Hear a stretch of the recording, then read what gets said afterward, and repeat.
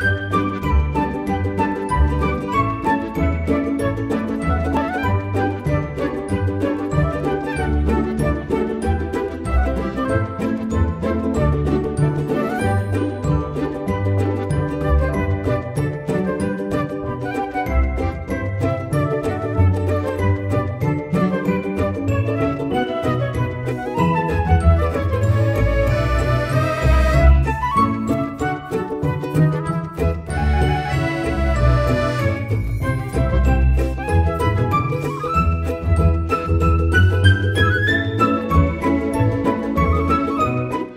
Hobby horsing is completely taking over Aspen this summer. It's not uncommon to see hobby horsing on the Aspen Mall, out in the parks, at the restaurants, and stores, and out on the trails. It's not uncommon to get passed by two or three hobby horse enthusiasts riding along the trail. It's crazy. I've never seen anything like it.